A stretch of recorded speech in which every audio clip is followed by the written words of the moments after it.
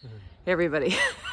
I've had a couple of requests for new campers to uh, show them how we hook up our camper and so we have to move it anyway to get it ready for this big camping trip. It is the day before we leave.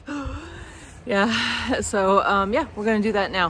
Hopefully um, I can set the camera up in a way that you can actually see what's going on, but let's go. Mm -hmm. Let's go. So while Mike gets the Brahma lock off, I thought I would just walk you through what it is that we need to check and do before we're going to move the camper because we actually have to kind of maneuver it so that it's pointing down the driveway. We have a crazy narrow driveway. So first thing is we got to get that wheel lock off so that we can actually move the wheel. The second thing is we have to take up the stabilizers because uh, you don't want those dragging along. That, that's a bad thing. Then we need to remove the Proven Industries hitch lock so that we can put the dolly underneath and uh, actually physically move it. So hopefully I can get a good camera setup for you guys so you can see how this is all gonna go down.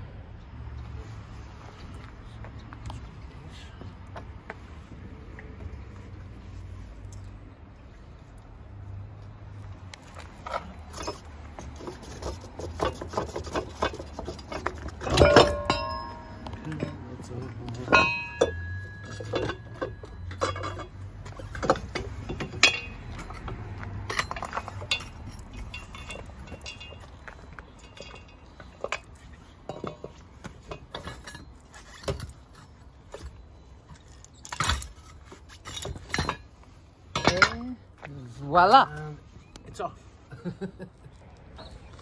so Mike's starting to take up the stabilizers. This is really important and it can be one of those things that you get distracted and forget to do, which I have actually done. It'll create a bend in your stabilizer if you try to push the camper when it's down. So uh, yeah, make sure they're up. All right, so before I put this away, I also need to make sure the step's up, which is pretty straightforward. Slides into place um, take the chuck out, except we need to rock the camper back first. But we do need to take the chuck out or it's not going anywhere. This way. I would bet money that every person who owns one of these locks that has the lock on the underside, which I understand is like the safer thing to do, is completely waiting for some new version of this lock to be available because it's a total hassle to get underneath. And know, honestly, we have uh, what feels like a gajillion keys associated with the camper. So uh, my husband is world's most patient man. Got it. You got it? Got it. Awesome. Let's go over and look at it. So I've taken out the hitch pin and now the lock here needs to come out this bit. So that, there we go, the Proven Industries lock comes off. Um, and this is a hassle to take off with the key. It's a very good lock, which means I can only imagine what it's like to take off without the key. And then we also did have there the chains, they're connected. If you lift this up, this bottom piece will fall out. We have the chains in here as well, which are locked in, so they come out. So we're ready to move. We're ready to go. All right, let's let's move this baby.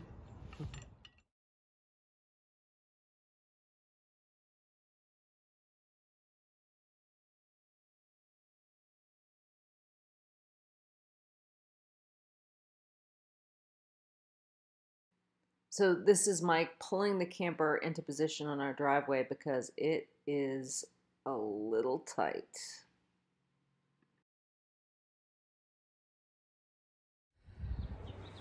So I'm going to speed up uh, the video and hopefully what we just did shows up. But um, there's a little tension around hooking up the camper and moving it. Mike and I are equally control freaks, maybe? What do you maybe. think, babe? You're a little more.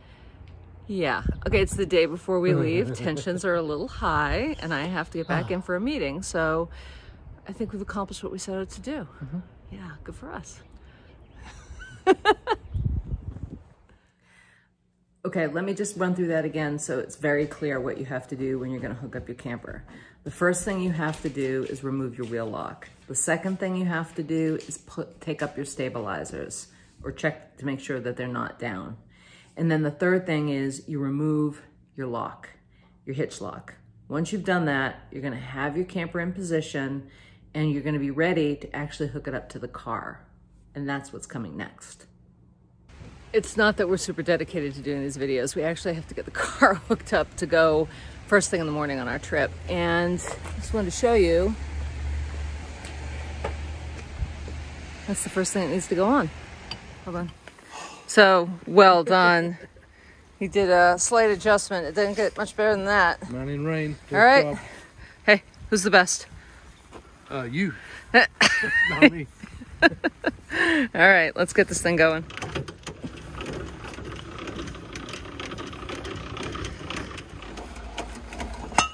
There we go. So that flywheel is off. Now, looking good, Mr. Preston. Yeah.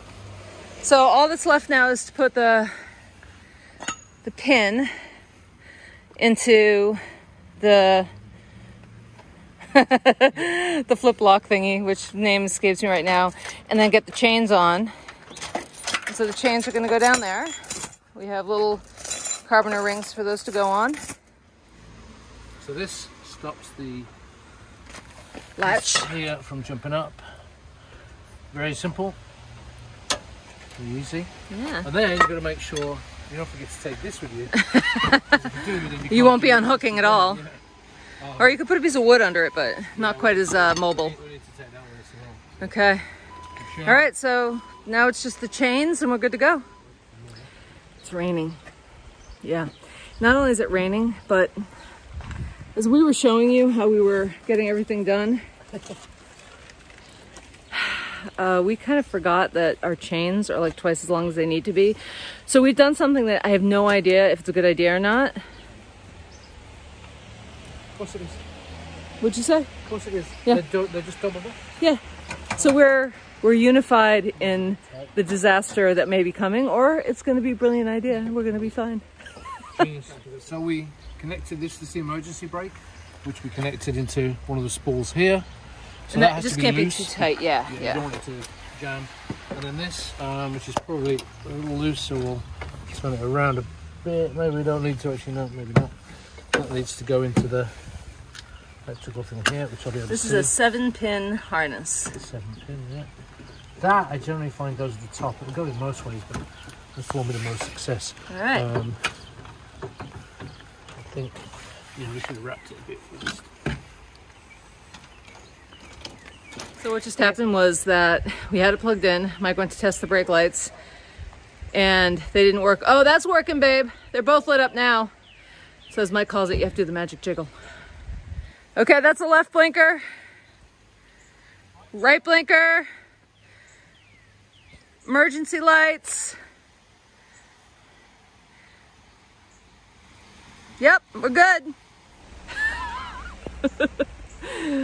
so here's what you should have observed from all the stuff we just did, which is that never ever do this in the dark Or the rain, if you can help it. or the rain if you can help it. But we're ready to go. Mission accomplished. We got to get those chains sorted. okay, my hair looked like a lot better in the first half of this video. Um, that was a little bit challenging because of the weather. So let me just break down pretty quickly for you what it was that you saw. So once the camper was in position, Michael backed up the car so that we could figure out, did we need to raise or lower the hitch on the camper so that you could get the ball um, on, from the car uh, hitch uh, positioned correctly underneath it.